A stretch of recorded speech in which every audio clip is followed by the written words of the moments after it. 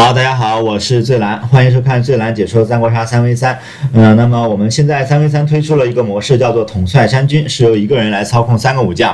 呃，很多玩家也对这个模式产生了兴趣，而且借助于 WC 的一个推广，呃，它的一个每周的一个比赛吸引了很多的关注度。但是有很多新人不知道怎么来进行这样一个游戏。那么在所有呃的游戏模式之前，首先你要了解这个游戏的模式里面有哪些武将。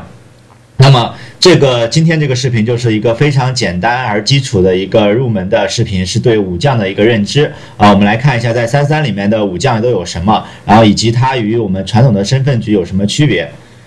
好，我们来看一下，这是三 v 三里面目前三 v 三这个版本里的所有的武将，然后我们一个一个给大家讲解一下。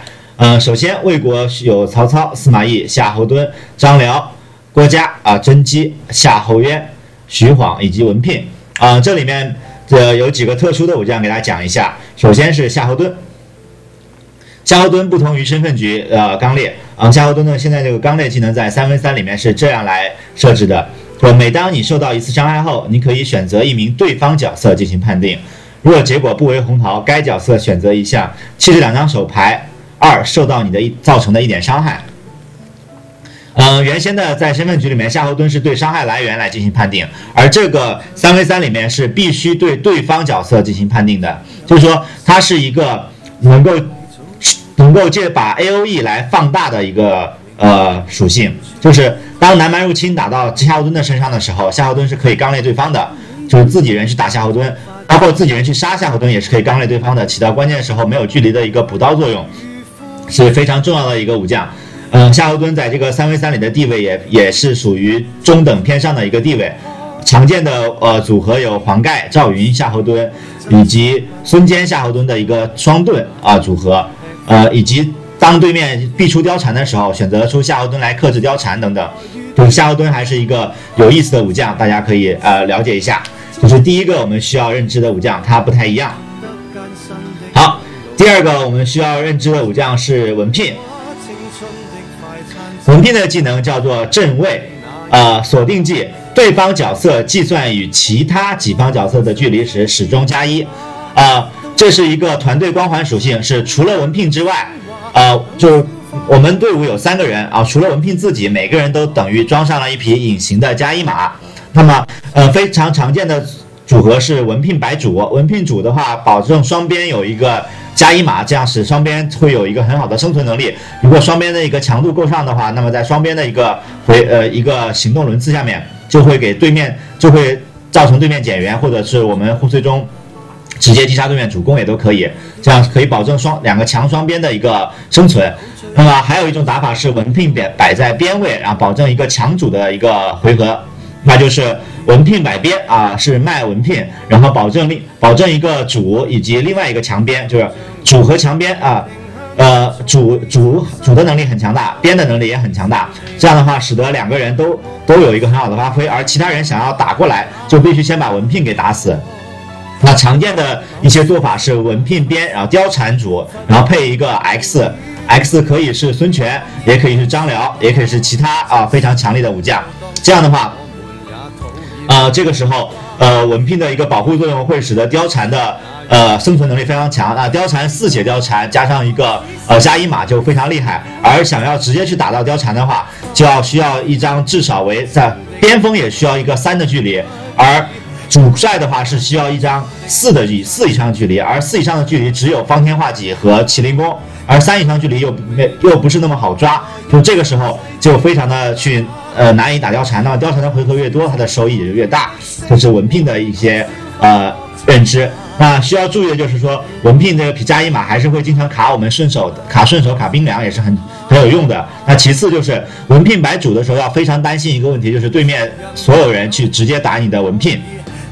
一般时候文聘白主可能对面都会直接来打文聘，这个时候要注意一下保护文聘的一个防御力。好，这是魏国里面。嗯，跟我们传统的身份局里面不同的两个武将，一个是夏侯惇，一个是呃文聘。那么其他武将，我们在后续的一个讲解里面，我们先把不同的武将讲一遍，然后我们再来讲呃整个三 v 三版本里面需要特别注意的几个武将。好，我们看一下蜀国，呃，蜀国的武将是有刘备啊、关羽、张飞、诸葛亮、赵云、马超、乐英、姜维。好，我们看一下这个跟传统武将有跟传统身份局不一样的武将有关羽。关羽的技能，呃，武圣啊，和传统身份局一样，是可以将红色牌当杀来使用或打出的。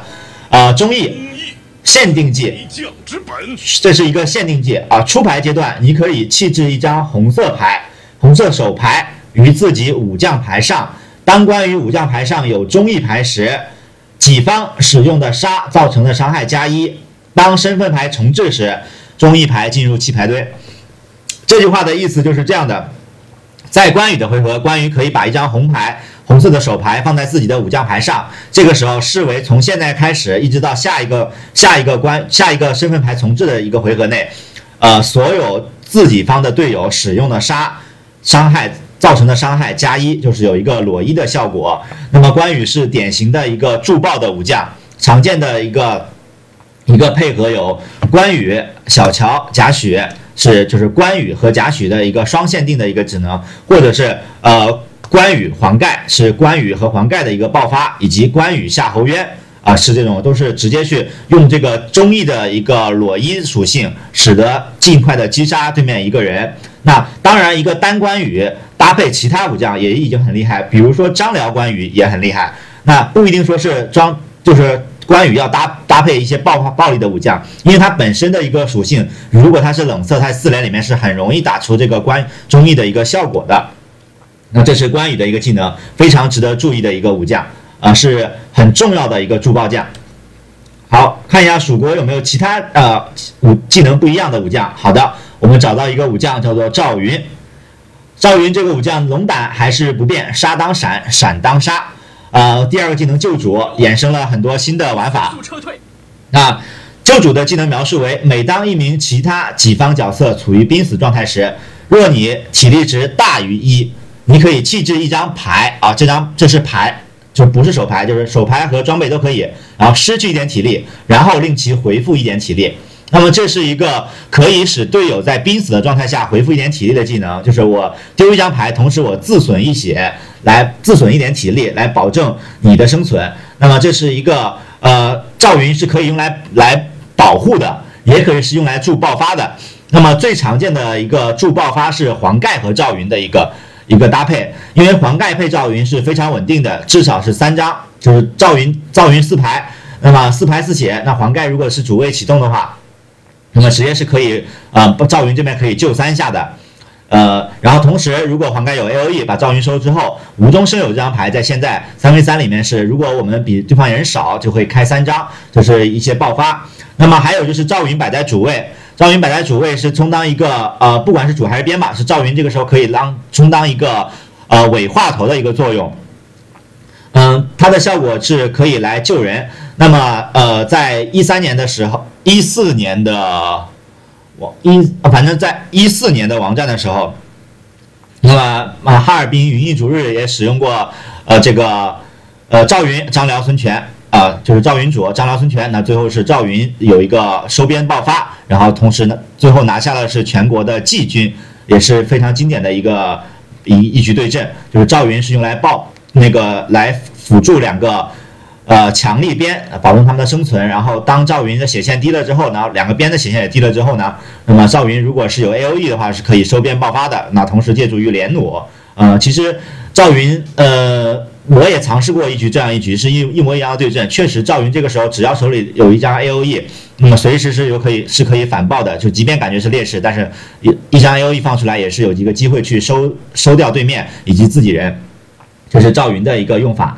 呃，需要注意的就是赵云是必须体力值大于一才能使用这个技能，也就是说，如果赵云手牌里面有桃的话，最好是赵云先出桃，而不是先用这个技能去救人。好的，这是赵云这个武将。嗯，当然还有非常猥猥琐的这个呃赵云、孙尚香啊、华佗什么的这种，还有什么大刘备的这种刘湘云这种，就是怎么杀也杀不死，三个人各自互相奶奶来奶去啊，是吧？呃，当然这个时候有赵云的是阵的是比较怕对面 A O E 的，因为对面 A O E 是一一打三，一打三的话，那么赵云的一个急救的话就没有那么赵云的一个救主就不会显得那么厉害。好，这是呃这两个武将。嗯，然后我们看一下吴国的两个武将，吴国的武将有什么特别的？吴国诸葛瑾、孙权、甘宁、黄盖、周瑜、大乔、孙尚香、孙坚、小乔、孙策。呃，这里面只有一个跟原先武将是不一样的武将，那就是诸葛瑾。那么诸葛瑾是从先有三 v 三，后有身份局，身份局的诸葛瑾是根据三 v 三的诸葛瑾来改的。那么其实大家对诸葛瑾应该很熟悉了，诸葛瑾是非常核心的一个武将。第一个技能名为缓释，是可以帮自己队友改判的一个武将。每当一名己方角色判定牌生效前，你可以打出一张牌代替之啊，这个都很好理解。第二个技能叫做红源，红源摸牌阶段，我可以少摸一张牌，然后令其他几方角色各摸一张牌，就是诸葛瑾摸一，然后另外两个人也摸一，这样的话团队上面就等于摸了三张啊，比诸葛瑾自己摸两张要多一张，这是一个过牌的技能。明哲，每当你于回合外使用或打出红色牌红红色牌时，或者于回合外因弃置而失去失去一张红色牌之后，你可以摸一张牌。那么就是说，诸葛瑾在回合外，不论是使用打出红牌，还是说我弃掉了红被人弃掉了红牌，以及以及寒冰过拆就等等这种红牌顺手被人呃失去之后，我就可以摸一张牌。这使得说它的缓释明哲是有一个联动效果的，那来改乐不思蜀是很好的啊。包括诸葛瑾手里有桃去给队友出桃也是非常不错的，是可以把桃来再制衡掉一张牌，等于是。然后这三个技能使得诸葛瑾在这个三 v 三里面有一个非常重要的一个地位啊，非呃非常呃常见的一个组合就是刘瑾啊刘备诸葛瑾，因为。刘备是可以给牌的，诸葛瑾是可以给牌的。那么刘备是可以回血的啊，然后诸葛瑾掉血之后，刘备是可以把桃子给诸葛瑾来撑诸葛瑾血线的。这两个人就可以打很多很多的阵。这两个人带上一个 X，所谓 X 就是任何一个武将都可以成阵，这是三 v 三里的一个定律。就是刘瑾就已经可以打很多阵了。当然，他们他这俩刘瑾的一个阵是非常怕爆发的，就是一一波强爆啊。但如果没有爆发死这个刘备诸葛瑾。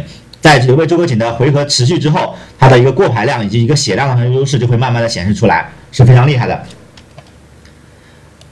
好的，我们看到了诸葛瑾，然后同时我们看到吴国还有一个跟诸葛瑾搭配很好的武将，叫做孙坚啊，就是孙坚诸葛瑾，大家都应该明白，孙坚阴魂，然后诸葛瑾丢红啊，丢红之后还可以再摸一张等于无损的一个阴魂。好，我们看一下吴国，这是特别注意的武将，就只有诸葛瑾一个。好，我们看一下群雄啊，群雄是整个三 v 三里面武将最少的呃一个国家，呃，分别有华佗、吕布、貂蝉、庞德、贾诩，呃呃，华佗、庞德、贾诩都跟以前身份局一模一样。那吕布、貂蝉这两个夫妻有不太一样的地方，我们先看这个美人貂蝉。美人貂蝉唯一不一样的地方就是离间，离间。少了原先的一句描述，不可以被无懈可击。那现在的离间是可以被无懈可击来打的，就说当貂蝉使用离间的时候，我们是可以打无懈可击来使这个决斗失效的，这是它唯一的不同点。好，我们看一下吕布啊，吕布的技能十分之复杂，无双啊，这个可以理解，杀和决斗需要用两张闪或者两张杀来响应。好，第二个技能战神非常之犀利，谁与争锋？战神觉醒技。呃，回合开始阶段时，若己方有人阵亡，并且吕布已受伤，则需减一点体力上限，并弃置已装备的武器牌，获得技能神戟和马术。先讲一下觉醒条件，觉醒条件就是吕布开始的时候，吕布受伤了，然后同时我们队友，我们死过队友，我们的人，我们只要死过队友就可以了。好，这是吕布的一个觉醒条件。觉醒之后获得的技能马术都可以理解，装备了一匹负一马。神戟啊，就是神戟这个技能是这样描这样的：神戟在手，无人能敌。若锁定技，若你的装备区里没有武器牌，你使用的杀选择的目标个数上限加二，就是说我使用的杀可以额外指定两个人，就是我可以一个人杀三个人。只要是在我攻击范围之内。而他弃掉装备之后呢，马吕布拥有了马术，就是他自带了一匹负一马。这样，当对面没有装加一马的时候，那吕布基本上就可以杀对面三个。而吕布如果自己装备了一匹负一马，就等于他自己装了两，就等于是有负二马，所以也是可以一杀三的。就是吕布的一个呃技能。那么吕布呢，目前来说是三 v 三里面出场较少的一个武将，是因为他的技能看得非常华丽，但是跟其他的一个稳定性来稳定的的一个组合来说，可能他的出场率就不那么不会那么高。常见的我们是可以看到一个。呃，吕黄盖吕布的黄盖吕布，那么黄盖可以靠 A 把吕布打觉醒，同时黄盖自杀，然后这样吕布是可以来进行一个直接的一个觉醒。那么还有的就是貂蝉吕布，当吕布白主的时候，呃，吕布白主，貂蝉摆边，那么对面呢，对面呃如果打不到吕布，基本是要先解决貂蝉，而貂蝉和吕布的一个。呃，配合也不错。那么当貂蝉一旦阵亡，那么吕布有一个爆发之后的无双，那么是可以造成一个很好的效果的。啊，那么之前贴吧还有人说要出一个貂蝉吕布夏侯惇的一个阵，也是不错的。因为这个时候对面打谁都很难，是对面就对面不能打打夏侯惇，呃，如果打不到吕布，那就只能打貂蝉，这是一个逼迫对面打貂蝉的一个阵，对吧？当然，如果对面全都找到距离的话。是可以直接去杀吕布的，不过貂蝉的回合越多，有可能你没杀死吕布，貂蝉先把你们弄死了也不一定，所以这确实是可以考虑的一个阵型。那么我们看到，这就是三 v 三里面几个不同的武将，分别是夏侯惇、文聘、关羽、赵云、诸葛瑾、吕布、貂蝉这几个武将。是玩新这个是是你现在进入统帅三军之后必须要熟悉的几个武将，因为他的技能不一样，这是最简单的一个东西。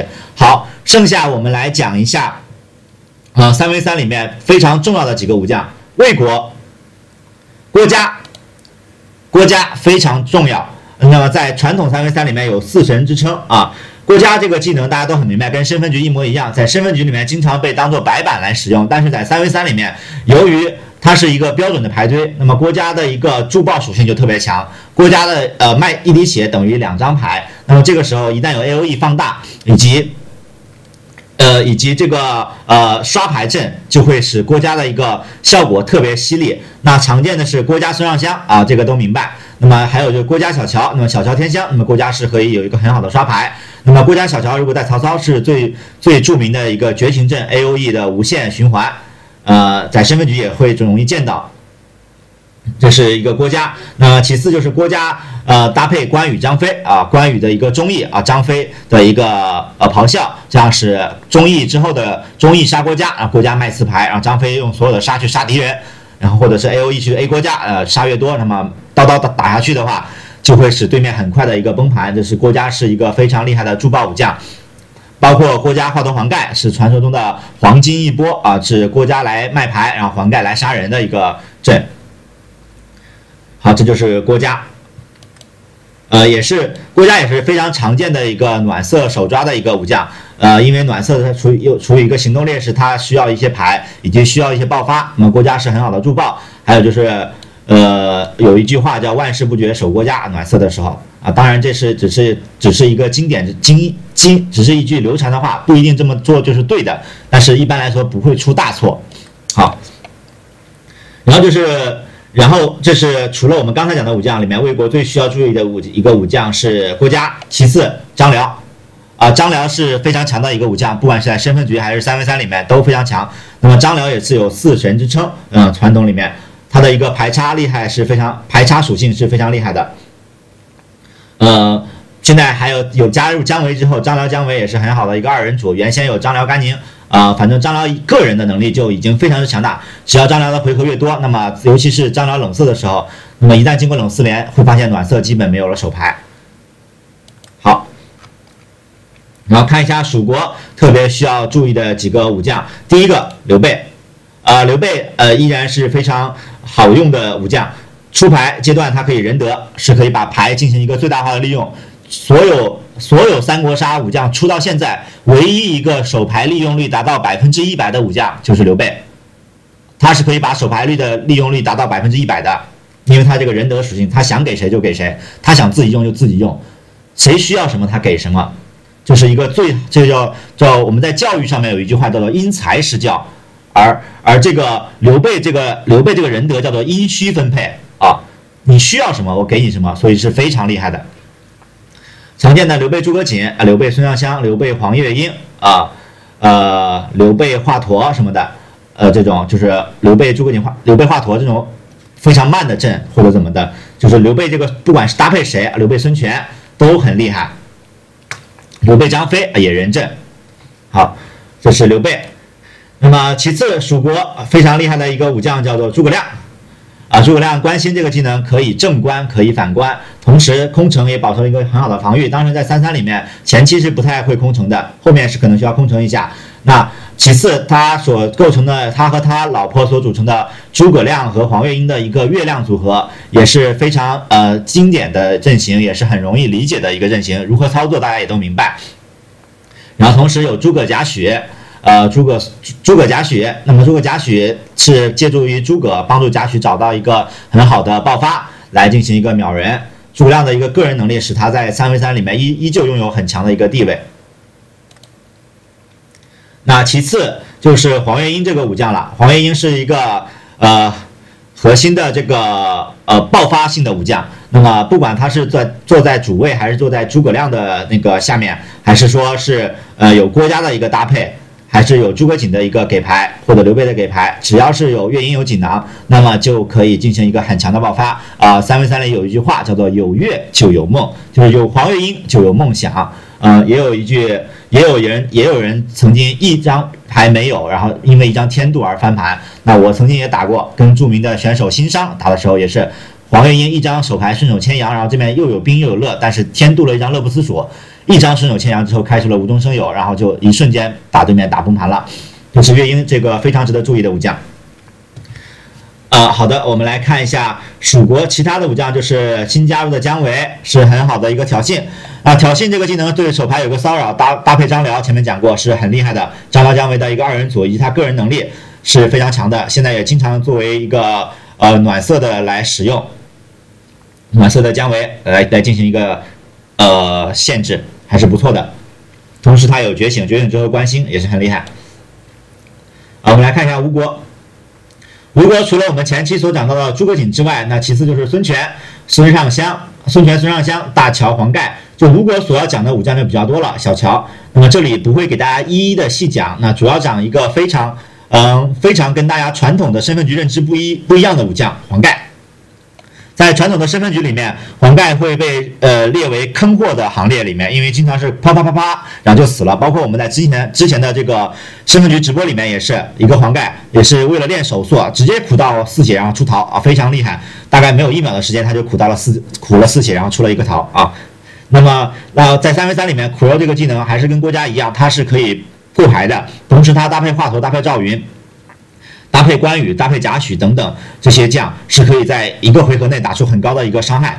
那么他只要能过到他所需要的牌，那么他打出伤害之后，即便自己死了，可以给对面就是黄盖去换掉对面一个核心。那么同时自己发的二人是可以打对面二人的。呃，而且黄盖如果可以过到兵乐这样的牌，是可以把对面的一个回合给限制住，那么就会创造很好的优势。那么最在以前的时代最厉害的一个阵型叫做黄金一波以及白银一波啊，分别是华佗、郭嘉、黄盖以及刘备。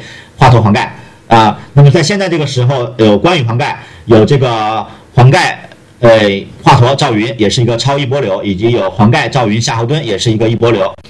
呃，黄盖夏侯惇夏侯惇，他就是黄盖华佗赵云可以算超一波流，也可以打，也可以不打一波，就是呃呃黄盖死，黄盖之后打到三血也可以。那其次就是这个赵云夏侯惇的话，是经常是赵云死，然后黄盖保存三野过的，是。不打不会直接一波打主的，可能会先秒到一个对面一个边。那如果有机会一波打主，是会考虑一波打主。这是黄盖，呃是非常重要的一个武将，大家也是非常考验排序的一个武将。当然最简单的是先把牌拿到手里，然后你再看怎么过牌。但是，一旦当你牌多了之后，你是很容易出错的，也是练排序的一个武将。这是最特别的一个黄盖，啊，以及我们所要讲的一个美女大乔啊，大乔是乐不思蜀，是可以充当冷主的，也可以充当一个暖主，也是偶尔是有一些奇效，以及是还是可以跟贾诩造成一个很很有意思的配合，就大乔贾诩啊，乱舞的时候会有非常有意思，嗯，大大乔小乔这两姐妹跟贾诩都有一个很有意思的配合。然后就是小乔，小乔是经常用来做做这个呃刷牌使用，以及做这个伤害转移使用。好，群雄的武将，群雄的武将除了我们之前讲到不一样的之外，就要需要注意贾诩这样一个武将。贾诩加入这个三 v 三以后是非常厉害的一个武将。那么他在这个呃玩杀这个技能是可以切断队友的桃子，切断队友的桃子的话是能够造成一个直接性的减员。那么常见的配合前面也提到，关羽贾诩是著名的双线阵。那以及呃单贾诩带任何一个输出边啊，貂蝉贾诩，以及貂蝉呃以及贾诩带姜维，贾诩带张辽，贾诩带谁？贾诩带诸葛，都是很厉害的，包括刘备带贾诩都很厉害。呃，那乱舞帷幕这个技能大家都明白，主要是它这个玩杀的属性，使得它乱舞玩杀的一个联动可以造成一个人物的减员。啊，其次就是华佗。华佗也是跟身份局很不一样，华佗传统的身份局，华佗出场率非常低啊，就是普通的华佗。但是在这个三 v 三里面，华佗是非常重要的一个武将。首先，它是可以一，它可以用来爆发，呃，爆提供黄盖的一个爆发；二，它可以来其中一个保护，就是华佗主，然后来保护保护两边。三，在超慢阵里面，呃，只要有华佗是永远杀不死人的，张辽、华佗、诸葛瑾、刘备、华佗、诸葛瑾这种永远杀不死人，就会非常非常恶心。这是也是非常值得注意的一个武将。好，呃，包括郭嘉、小乔、华佗也是这种阵。呃，郭嘉、小乔、华佗是既能刷牌又能又能奶血，呃，对吧？是非常让你让你打着打着就想投降的一个阵型阵型。那么今天的这个三 v 三的呃入门的武将认知部分就给大家讲到这里，语速比较快，但是不影响大家的理解，因为。呃，这个是新手相的一个东西。呃，这边这个是新手相的一个东西。大家听过这个之后呢，对不同的武将有了一个认知，那么你可以，你就会有兴趣去去学习这些武将的一些用法，然后，然后你可以去，去这个叫什么？啊，开始去尝试性自己去打一打这个三 v 三了，打一打统帅模式。统帅模式出来之后，一个人操控三个武将是。比较呃容易让你理解呃所有手牌的使用，因可因为你可以知道自己所有的手牌。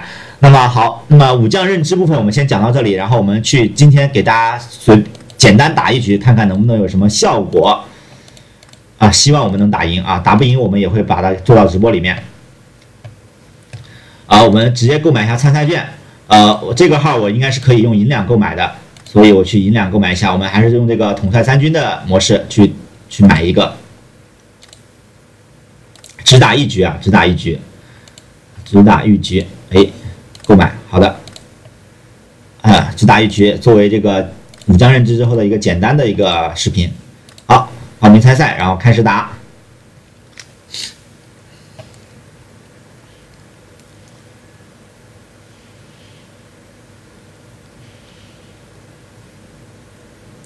讲的比较快，大家可以看视频的时候再回味一下，或者自己再去看一下这些东西。现在是主要是制作视频，所以我们要从头讲起。呃，这个视频对于三 v 三的推广作用，我觉得还是很重要的，以及对一些不玩三 v 三的玩家来简单的了解一下三 v 三也是很厉害的。那么后面我会去贴吧找一些精品的帖子，选一些特别好的帖子来给大家讲他们前辈们所给我们留下的经验。好，我们是暖色。啊，暖色，反正我们这还是先自己选吧，不要随便让。呃，看一下这边是有刘备、呃张辽、啊诸葛瑾、黄盖、关羽、郭嘉等等。呃，那么我觉得这个时候，关关羽看一下，我们还是拿张辽吧，拿张辽或者刘备都可以，我们拿个张辽啊。暖色虽然说传统意义上要求一点爆发，但是也也没关系，我觉得就拿个张辽吧。我觉得主要是三统帅三军这个，一般来说第一局你匹配到的人可能都还普通。买郭嘉拿走，好的，呃，然后我们拿一下这个，呃，刘备，孙尚香，这样拆掉他的郭襄，然后同时我们拿到刘备、张辽，等于拿到两个神将，对面只拿到一个诸葛瑾啊这边要关羽要爆发一下。黄盖啊这边要走爆发路线了。夏侯惇呃姜维。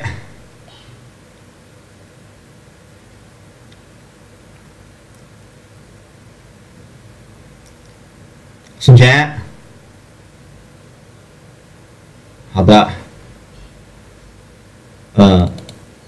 一下，拿下，我们可能打不过对面啊，因为这边基本要走关羽黄盖了，很难受，比较难受啊，会不会让先就不知道了。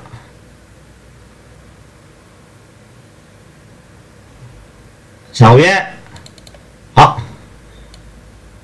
还是刘备为主，张辽、姜维，这样就打就打刘备、张辽、姜维吧。希望能够对面不出关羽黄盖，让我们来秀一波。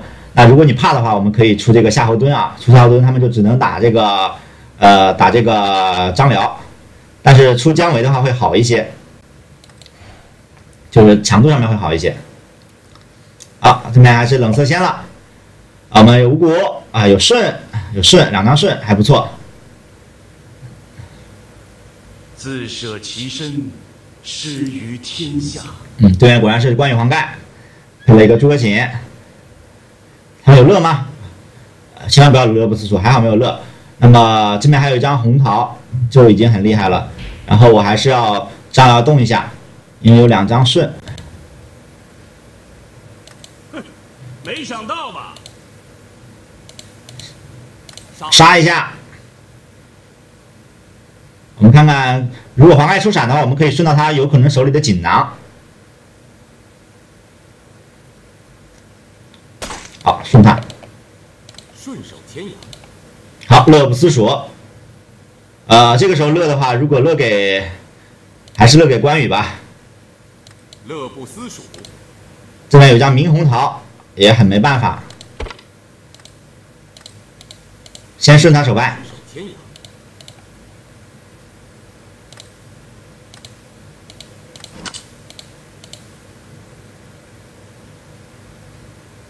杀黄盖。这边如果要想一波打的话，应该打不死我们。啊，然后刘备一会提供一个保护，就应该没什么太大问题。冷色可能想在四连再打我们，也有可能。呃，有两张闪，这边一张闪。那黄盖先苦肉桃园了一下。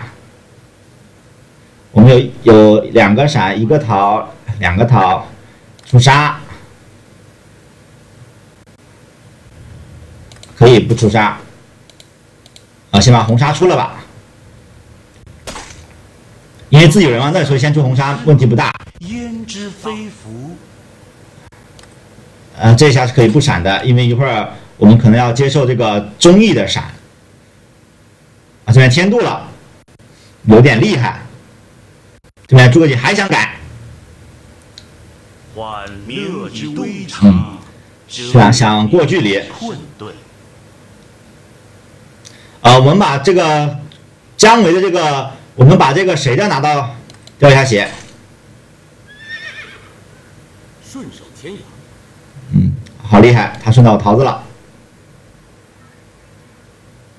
我们先仁德一下，仁德一张黑沙。为德能服于人。仁德一张五谷给张辽。以德服人。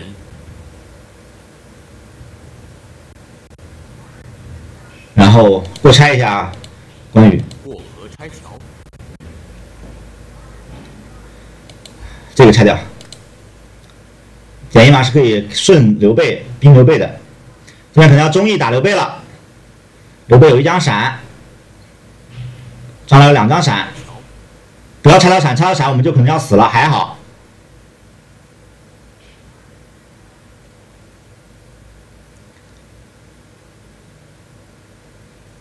万箭齐发，现在万箭了，掉血，掉血。掉血，闪，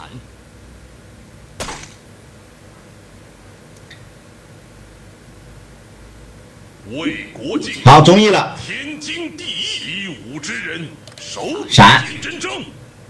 刘备只有一闪，肯定要闪一下中义。赴汤蹈火，在所不辞。南蛮入侵，南蛮，掉血，掉血，出杀。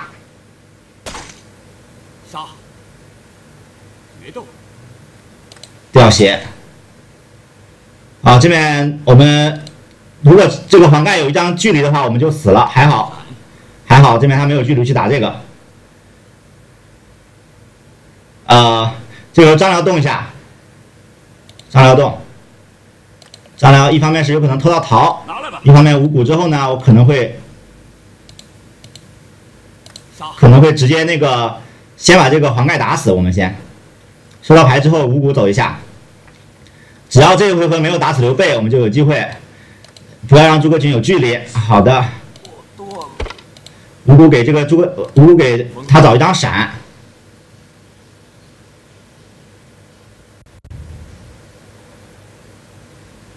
呃，这边拿无懈，然后刘备这边拿闪，然后这边拿无懈，然后这边关羽拿什么都可以，可能关羽会被无懈掉。对，那个谁会被无懈掉？呃，诸葛瑾无懈，无懈一下诸葛瑾。不要给诸葛瑾无中生有，因为无中生有他会开三张，这样刘备有一张闪就不怕被这个了。然后我可以丢一下牌，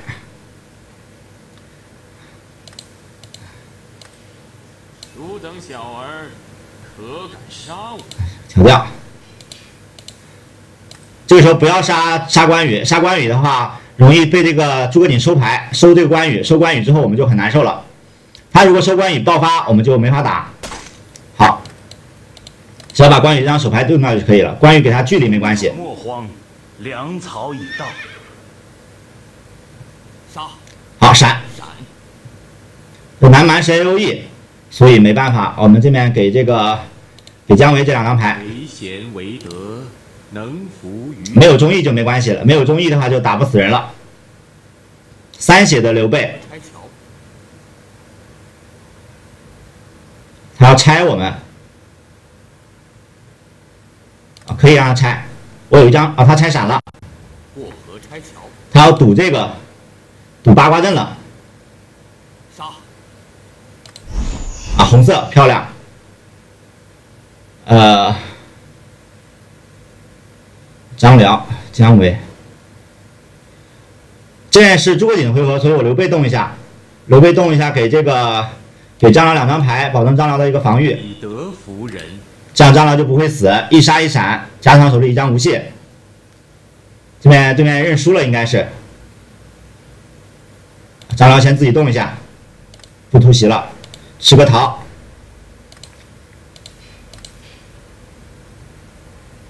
然后就挑衅一下。强可免一死。过河拆桥。盯上。兵粮寸断。为什么要吃满？不，没有必要吃满。对面对面投降了，但是我们现在主要找不到距离啊。刘备先看看能不能给出距离来。刘备给两张杀给这个姜维。为贤为德，能服于人。好的，我们给大家演示了一下，呃，这个杀刘备姜维这个，对，就是张辽姜维这个属性啊，张辽姜维，同时我们配了一下刘备。此地叫麦城。我们把他这个挑一下，他应该是认输了，所以我们就直接决斗他。结束，丢掉。啊，不突袭了啊，没有杀，很可惜。其实这个地方不要吃桃，不吃桃原因是，呃，在对面认输的情况下呢，其实对面已经认输了，就真的没有必要再吃桃子了，因为你会浪费时间。我先无中一下，找不到杀，这这有没有杀？我们顺一下他有没有杀。终于找到一张杀，好的。杀。君臣不相。那么就结束了。可以看到刘备，刘就是刘备、张辽、姜维，只要是能够扛住这个关羽黄盖的那个回合，后期的话，他们三个人是非常强大的。对，吃桃意味着隐性鞭尸，这也是打三 v 三的一个好的一个作风吧，就是三三的玩家，呃，如果你是真正玩三三的玩家，是不会有任何多余动作的，不会说给对炫耀炫耀自己手里有还有桃，炫耀自己怎么怎么地，就你不吃桃，即即便自己要求桃，你给出一个桃就可以了，就不要有任何多余的动作，就是最好的一个玩法。